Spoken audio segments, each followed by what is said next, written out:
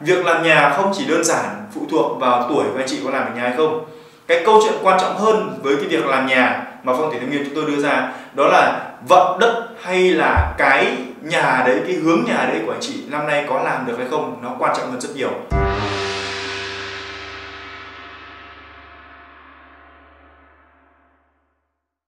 Vâng, xin chào tất cả các anh chị và các bạn. Em là Đức Trung, trợ lý của Thế Tam Nguyên. Thưa các anh chị, Ờ, qua khá nhiều những câu hỏi thắc mắc khác nhau của các anh chị và các bạn trong cái thời điểm mà chúng ta ra xuân ngoài Tết như thế này. Đây là thời điểm thành thơi và cũng là thời điểm mà chúng ta thuận tiện cho cái việc uh, triển khai xây dựng những ngôi nhà mới uh, hay là tu sửa những ngôi nhà mà chúng ta mong muốn sửa chữa đưa để nó khang trang hơn hay là xây dựng một bằng kinh doanh một nhà xưởng Vậy thì cái uh, rất nhiều câu hỏi khác nhau của các anh chị gửi đến phòng thủy tài nguyên chúng tôi đó là uh, tuổi của tôi sinh năm tương đây có xây được nhà hay không? Ví dụ như tôi sinh năm 1964 Giáp Thìn ờ, tôi năm nay tôi muốn làm nhà thì có được không? Hay là tuổi tôi sinh năm 1986 Bính Dần thì năm nay tôi muốn làm nhà có được hay không? Vậy thì ờ, rất nhiều những cái câu hỏi khác nhau đó của các anh chị gửi đến phong thủy tam nguyên với một cái mong muốn đó là cầu thị là ừ, nhận được cái sự tư vấn giải đáp tận tình đối với đội ngũ trợ lý của thầy Tam Nguyên hoặc là dưới sự hướng dẫn trực tiếp của thầy Tam Nguyên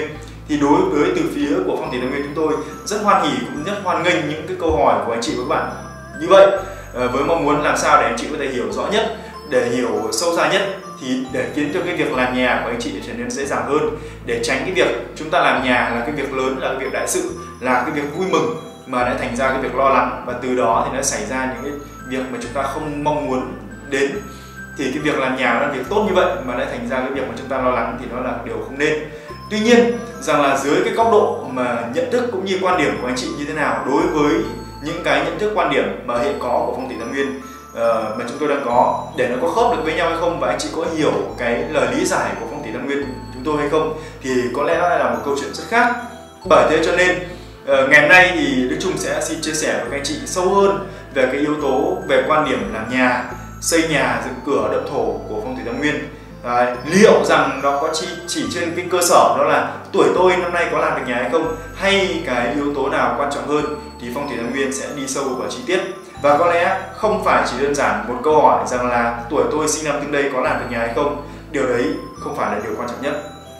Các anh chị biết rằng là việc làm nhà nó là một việc đại sự đúng không ạ? Có lẽ là chúng ta dành à, tích cóp cả đời để làm một cái nhà khang trang. Như vậy nó là một trong những việc rất lớn của một đời người à, chúng ta ở đấy ngắn thì là vài năm lâu thì là vài chục năm mà lâu hơn nữa thì có khi ở cả đời. Do vậy rằng là làm cái nhà nó là một việc đại sự rất lớn cho nên đây là cái câu chuyện mà bất cứ ai cũng quan tâm. Nhưng lại để hiểu biết về nó thì không phải ai hiểu biết. Do vậy khiến chúng ta cảm giác lo lắng và đi hỏi rất nhiều nơi hỏi thầy này thầy nọ và mỗi thầy một phách mỗi thầy một ý thì khiến cho các anh chị trở nên lo lắng nhiều hơn. À, cũng nhiều anh chị tự chủ động tìm hiểu thông tin qua mạng qua internet qua những cái bài viết có sẵn thế thì cũng ờ, kiến thức nó trở nên chắp vá và khi mà các anh chị làm nhà rồi thì có một cái sự góp ý từ phía bên ngoài, tác động từ bên ngoài và các anh chị trở nên lo lắng, trở nên hoang mang và trở nên là lớp lớp lớp lớp lo hãi. Đến khi mình vào ở rồi mà mình vẫn lo hãi thì rõ ràng rằng là cái việc làm nhà, tôi xây được cái nhà mới nó đẹp như vậy, tôi xây một cái nhà mới nó khang trang như vậy mà ở nó lại không thanh tâm ở mà không hoan hỉ, ở không an lạc thì chúng ta cảm thấy rằng là việc làm nhà nó lại trở thành việc nặng nhọc. Vậy thì qua những cái phần giải đáp của phong thủy nguyên thì đa phần các anh chị sẽ trở nên dễ hiểu hơn và chắc chắn cái việc làm nhà sẽ trở nên là đơn giản hơn rất nhiều. Trước tiên, với cái câu hỏi thắc mắc của rất nhiều các anh chị và đại bộ phận các anh chị quan tâm, đó là tuổi của tôi năm nay có làm được nhà hay không? Ví dụ, tôi sinh năm 1963 Quý Mão, thì năm nay tôi muốn làm nhà thì xin hỏi có làm được nhà hay không? Đây là câu hỏi thường xuyên mà chúng tôi nhận được. Nhưng câu trả lời mà phong thủy nguyên dành cho tất cả các anh chị, đó là việc làm nhà không chỉ đơn giản phụ thuộc vào tuổi của anh chị có làm ở nhà hay không. Cái câu chuyện quan trọng hơn với cái việc làm nhà mà phong thủy thái nghiệp chúng tôi đưa ra đó là vận đất hay là cái nhà đấy, cái hướng nhà đấy của anh chị năm nay có làm được hay không, nó quan trọng hơn rất nhiều. Vì rằng là các anh chị cũng có thể thừa nhận với phong thủy thái viên chúng tôi rằng là chúng ta làm nhà là chúng ta làm trên đất, tức là chúng ta động thổ lên trên đất, chứ không phải là làm trên người bởi vậy, cái câu chuyện đầu tiên, cái câu hỏi số 1 đầu tiên, rằng là cái vận đất đấy của nhà tôi nó có đắc cách hay không, nó có đắc cục hay không, hay là vận khí nó có tốt hay không, để chúng ta làm. Điều đấy nó quan trọng hơn rất nhiều. Do vậy, cái câu hỏi đầu tiên, cái vấn đề số 1 của chúng ta thắc mắc đó là cái tuổi tôi có làm được nhà hay không? Nó không phải yếu tố quan trọng nhất, anh chị ạ. Do rằng là cái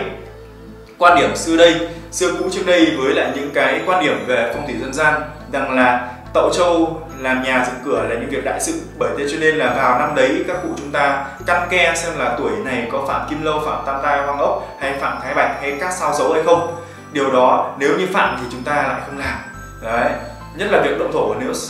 nếu mà phạm thì chúng ta lại không làm nhà. Đấy, và đôi khi đã bỏ đi những cái cơ hội tốt. Đấy. và chúng ta chờ vào cái năm mà mà mà qua đi cái hạn tuổi xấu thì chúng ta mới làm nhà thì câu chuyện đấy nó không phải là chính xác hoàn toàn. Cái chuyện làm nhà và cái chuyện động thổ nó không phải là một, anh chị ạ.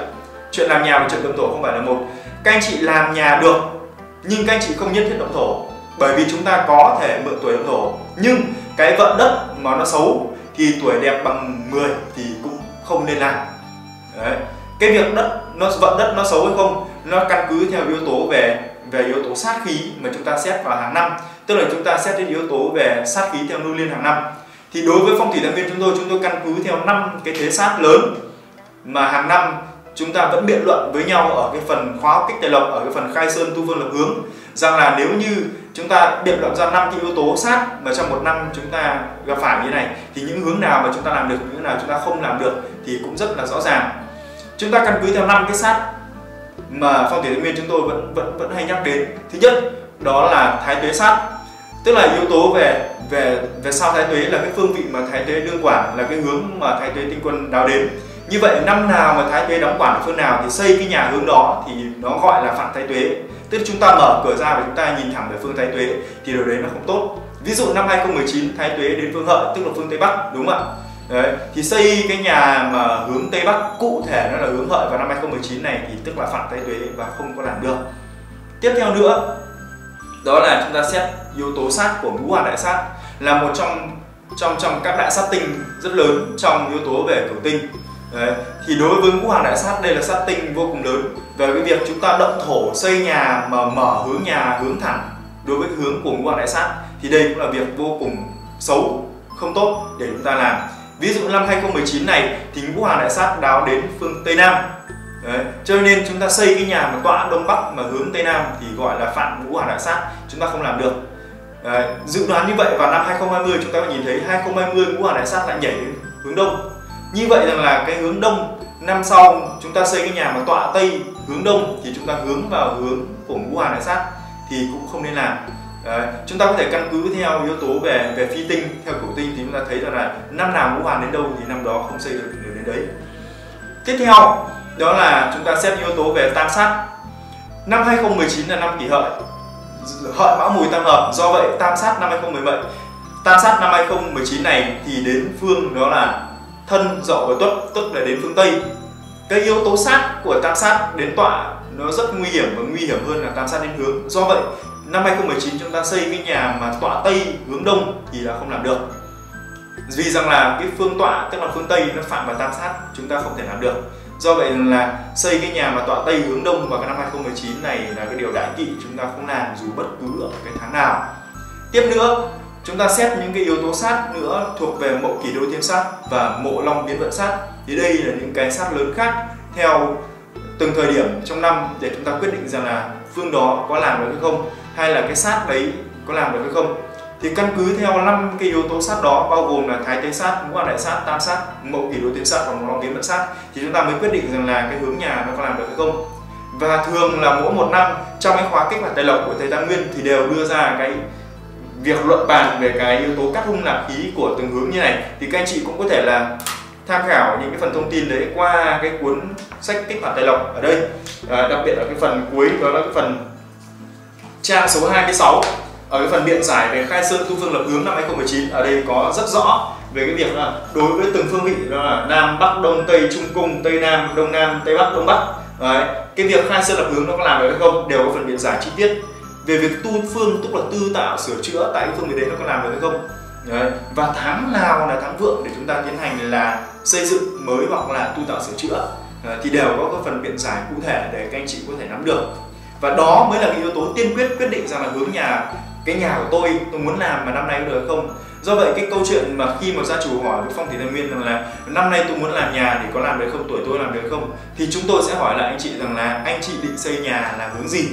Thì mới có thể quyết định được. Ví dụ anh chị nói rằng là, tôi muốn xây nhà và hướng đông năm 2019 thì xin thưa với anh chị, hướng đó không làm được và anh chị vẫn nhất quyết muốn phòng thủy tài nguyên tư vấn để làm về nhà vào năm 2019 này, thì có lẽ chúng tôi cũng nhất quyết từ chối, bởi vì rằng là biết sai mà vẫn còn hướng dẫn cho gia chủ sai, thì đấy là cái sai theo đạo nghề, cho nên chúng tôi không thể làm được và chúng tôi sẽ đưa ra cái lời khuyên rằng là anh chị nên triển khai vào năm nào nó tốt hơn đấy. còn việc chúng ta chuẩn bị những cái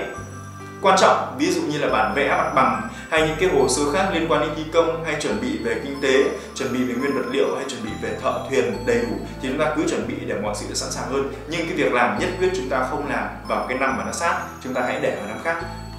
Còn lại tuổi anh chị, có đẹp đến mấy thì chúng ta không làm. Như vậy câu chuyện dẫn đến đó là hướng nhà mà làm được rồi, đúng không ạ? Thì rằng là hướng nhà mà vận đất mà ok làm được, ví dụ năm 2019 này, trục Bắc Nam là cái trục mà chúng ta xây nhà năm mới 2019 rất là vượng. Và dĩ nhiên chúng ta cần phải chọn vào cái tháng vượng để chúng ta làm. Cụ thể bây giờ chúng ta đang bàn đến câu chuyện và đang đang bàn câu chuyện tháng này là tháng 3 âm lịch. Thì những cái hướng nào chúng ta có thể làm được? Thì chúng ta thấy rằng là tháng 3 âm lịch theo phần khai sơn tư phương hướng của thầy Tam Nguyên. Thì cái hướng bắc là chúng ta có thể tiến hành là triển khai xây dựng mới. Cái hướng bắc giải độ nó như thế nào? Thì các anh chị căn cứ theo cái la bàn để mà chúng ta xác định sao cho nó chính xác đấy. Thế thì cái hướng bắc nó là cái ờ, theo cái phần mặt la bàn khai sơn tư phương được hướng ở đây. Để cái chị dự để chị nắm được rằng là cái hướng bắc nó nằm ở giải độ như thế nào hướng nam nó nằm giải độ như nào đông tây nam bắc các phương vị bốn phương tám hướng nó nằm giải độ như nào. Chứ cái câu chuyện chúng ta không không không nói chung chung với nhau theo cách đó là uh, nhà tôi hướng uh, bắc ghé đông một tí nhà tôi hướng bắc ghé tây một tí. Thì cái chuyện đấy thì phong thủy tài nguyên chúng tôi không thể xác định cụ thể nó là hướng nào được để có thể tư vấn cho anh chị thì chúng ta cần phải xác định cụ thể xem là cái phương nào uh, nó là cái phương bắc mà để chúng ta nhìn. Thì chúng ta có thể thấy rằng là cái phương bắc nó giải từ trải độ 337,5 độ cho đến là 22,5 độ. Nó giải qua ba cung đó là nhâm tý quý. Đấy. tương tự nó thì nó là phần tọa nó là là là phần phương nam đúng không ạ? Phương nam bao gồm ba cung là bính ngọ đinh. Đấy. thì chúng ta thấy rằng là với cái giải ô màu trắng ở trên cái mặt la bàn này thì sẽ làm được. Còn những nô nào ô đen thì hướng đấy là không làm được. Đấy hướng đấy không làm được hay không thì các chị lại phải nghiên cứu cái phần biện giải mà vấn đề đức trung có có có có ờ, chỉ ra cho chị thấy. Thì cái hướng bắc năm 2019 bao gồm ba cung là nhâm tý quý và tọa nó tương ứng là bính ngọ đinh. À, tọa nam hướng bắc mà thì chúng ta sẽ làm được và chúng ta sẽ có thể triển khai vào trong tháng 3 này. Tương tự như thế đó là chúng ta có thể triển khai xây dựng trong tháng 3 này các hướng đó là hướng hướng tây nữa và hướng đông nam. Tuy nhiên hướng tây chúng ta lại nhìn thấy rằng là hướng tây bao gồm ba cung là canh, dậu, tân. Chúng ta lại xét xem rằng là trong cái mỗi một cung này thì cái cung nó cắt hung như thế nào. Bởi vì mặt la bàn 360 độ chúng ta chia ra làm 24 sơn hướng, tức là mỗi một sơn hướng ở đây là 15 độ. 15 độ này nó khác nhau ở yếu tố về cắt hung vận khí đấy, các anh chị ạ. Chứ không phải là bắc ghé tây một tí, bắc ghé đông một tí đâu. Nó phải cụ thể là bao nhiêu độ nhé. Thì ở đây rằng là hướng tây chúng ta thấy là có canh có cái cung là canh dậu tân thì chúng ta chỉ có thể khai sơn lập hướng được với hai cung đó là canh và tân. Và cũng lưu ý với anh chị rằng là hướng tây năm 2019 này khai sơn lập hướng nó thứ cát tức là nó không phải là đắc hẳn do cái phần tọa của nó nó bị uh, phạm do yếu tố về mộ long biến quan sát cũng như là cái phần hướng, tức là hướng tây năm nay nó phạm tam sát. Cho nên cái phần hướng ở đây năm nay, hướng tây năm nay nó bán cát. Cho nên muốn khai sơn lập hướng được thì phải chọn vào cái tháng vượng để mà triển khai rất kỹ, cũng như những cái liên quan đến niên nguyệt nhật thời để động thổ, tuổi động thổ, vị trí động thổ như nào. Chúng ta phải xem rất là kỹ lưỡng, chứ không phải rằng là qua cái việc mà đức trung chia sẻ anh chị đây là cái anh chị ầm ầm ầm, đi xây cái nhà hướng tây mà không có căn cứ tư vấn của chuyên gia, thì cái điều đấy nó rất là sai. Do vậy chúng ta cần phải có cái có cái tính toán kỹ lưỡng hơn và cần có cái sự tư vấn chuyên sâu của chuyên gia thì nó tốt hơn. Hướng canh nó sẽ giải độ từ 247,5 độ cho đến 262,5 độ. Hướng tân nó giải độ từ 277,5 độ cho đến 292,5 độ. Đây là hai cái giải độ mà chúng ta làm được. Cung rộng tức là cung chính tây nằm ở giữa có giải độ từ 262,5 độ cho đến 277,5 độ. Nó bị phạm do yếu tố rằng là phần tọa là phần mão nó phạm ngũ long biến vận sát trong năm 2019 này và cái hướng tây, phần hướng nó phạm vào tam sát. Thế cho nên rằng là cái yếu tố chúng ta không nên động thổ với hướng chính tây, tức là tọa mão hướng dậu năm 2019 còn đâu rằng là nếu như tọa giáp hướng canh và tọa ất hướng tân năm 2019 chúng ta vẫn có thể làm được, nhưng phải chọn vào thời điểm mà nhật nguyệt đáo sơn cũng như là cái thời điểm mà mà mà vượng sơn hướng thì chúng ta mới có thể là động thổ xây mới được. Tiếp theo, đó là sang cái câu chuyện, đó chúng ta chọn cái tuổi đồng thổ như thế nào. Vậy thì hướng nhà năm đó vượng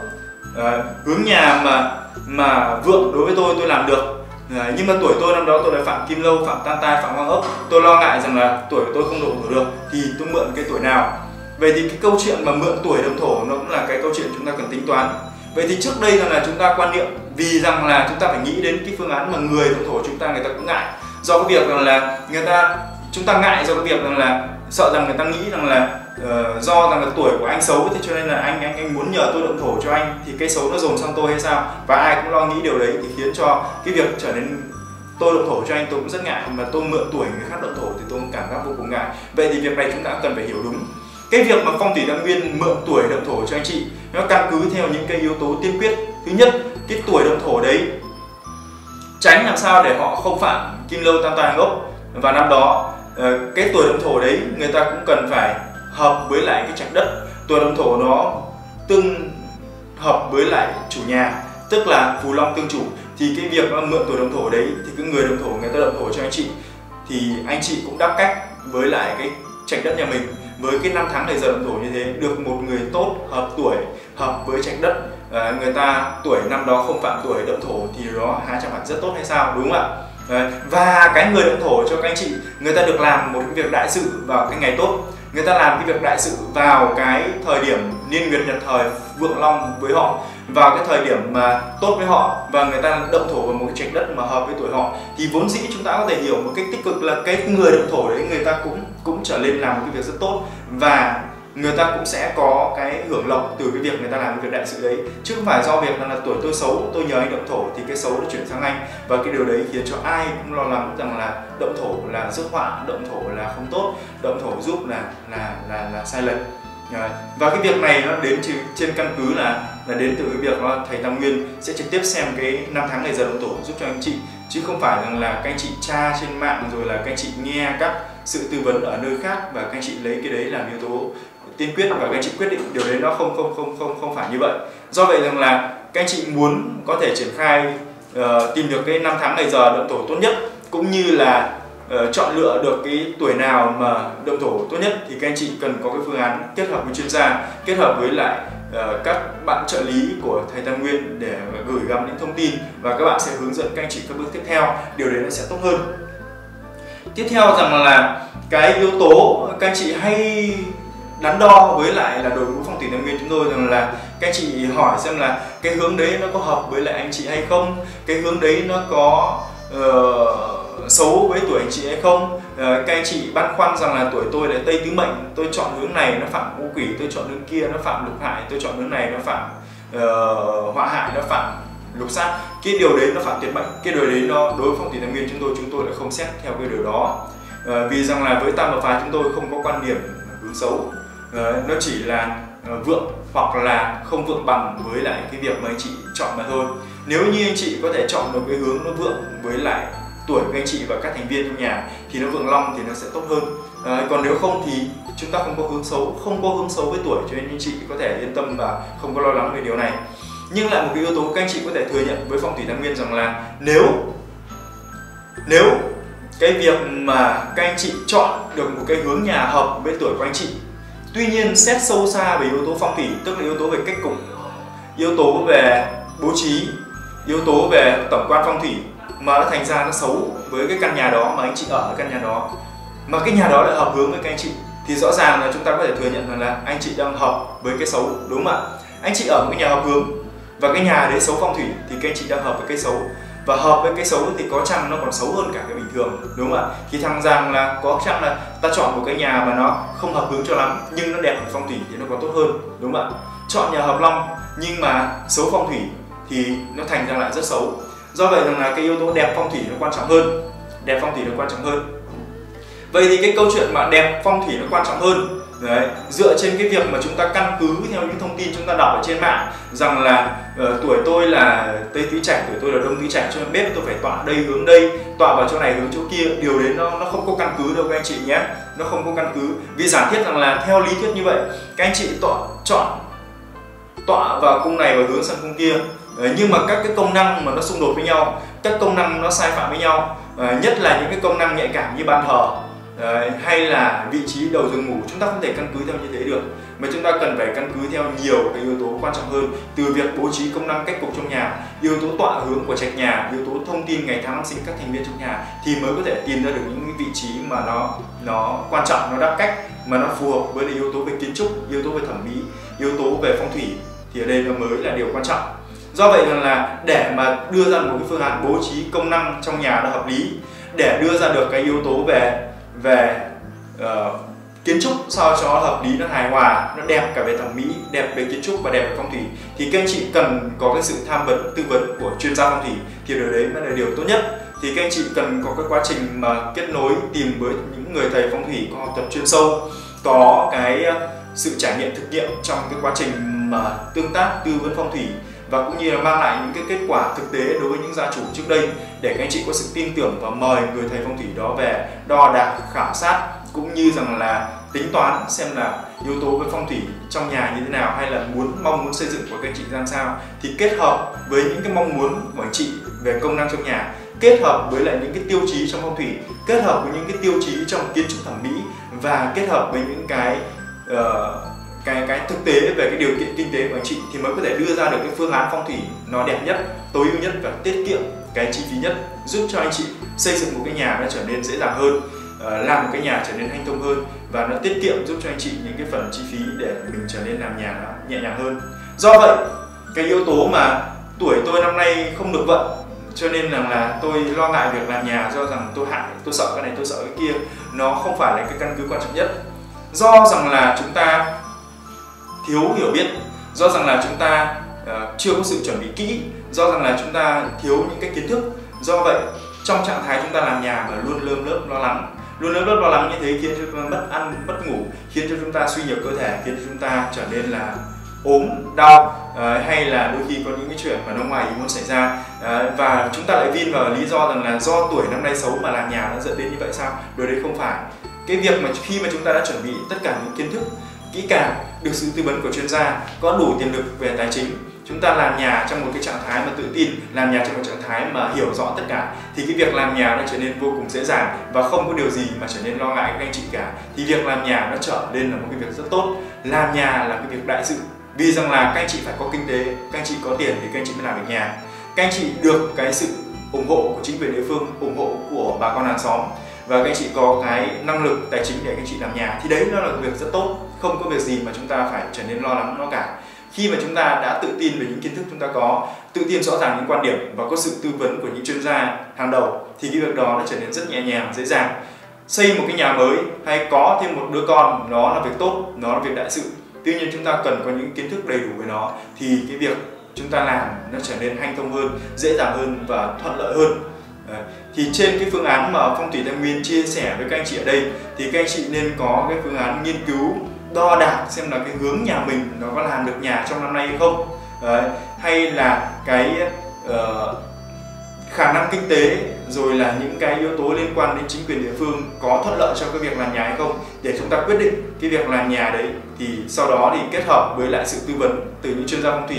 các anh chị có thể kết nối với lại đội ngũ trợ lý của thầy Tăng Nguyên theo cái số điện thoại hiển thị trên video hoặc là để lại thông tin họ tên số điện thoại thì sẽ được các trợ lý liên lạc lại để hướng dẫn các anh chị từng bước từng bước để kết nối với lại đội ngũ của thầy Tam Nguyên, kết nối với thầy Tam Nguyên và trực tiếp thầy hoặc là đội ngũ trợ lý của thầy sẽ về đến tận nơi với cái hạng mục công trình của anh chị để tiến hành đo đạc, khảo sát cũng như là lên phương án với lại các anh chị để tất cả những cái đó thì các anh chị hoàn toàn để kết nối với chúng tôi để chúng tôi tư vấn một cách cụ thể và chi tiết hơn Đấy. khi mà những điều đó trở nên rõ ràng thì chúng ta làm nó sẽ trở nên hanh thông khi rõ ràng nó sẽ tạo ra sức mạnh khi cụ thể chúng ta sẽ làm rất là dễ dàng. Thì trên phương án như vậy thì các anh chị hoàn toàn yên tâm vào cái việc làm nhà của mình hoàn toàn yên tâm vào cái việc mà uh, xây dựng một căn nhà mới vào năm này hay năm kia hay năm kia. Quan trọng không phải nằm ở cái việc là tuổi chị xấu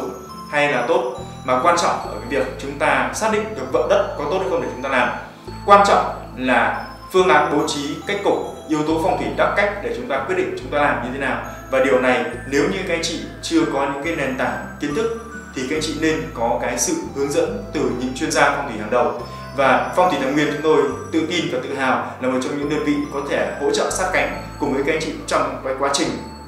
kiến tạo lên không gian sống, kiến tạo lên môi trường sống và kiến tạo lên một cái cuộc sống thịnh vượng giúp cho anh chị.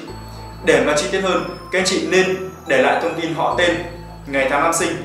địa chỉ cũng như là hướng nhà mong muốn xây nhà vào năm 2019 này để chúng tôi có thể tư vấn rõ ràng hơn các anh chị. Hoặc các anh chị cũng có thể liên lạc đến số điện thoại đang hiển thị trên video thì đội ngũ trợ lý uh, giàu kinh nghiệm uh, sát sao kiến thức sẽ liên lạc lại đến với các anh chị và hướng dẫn cụ thể các anh chị để các anh chị trở nên dễ hiểu hơn yên tâm hơn. Và chúng tôi cam kết với những cái học thuật với những cái kinh nghiệm và với sự tâm huyết đối với bộ môn phong thủy thì phong thủy thái nguyên sẽ giúp cho các anh chị trong cái quá trình mà kiến tạo không gian sống, kiến tạo một cuộc sống thịnh vượng, sẽ luôn có cái sự dễ dàng và trở nên là nhẹ nhàng hơn rất nhiều. Cuộc sống chúng ta cần thanh tâm an lạc, điều đó mới là điều quan trọng. Và phong thủy thái nguyên sẽ giúp các anh chị đạt được điều đấy. Cảm ơn các anh chị và hẹn gặp lại các anh chị trong những video tiếp theo. Đức trung, trợ lý của thầy thái nguyên. Chào các anh chị.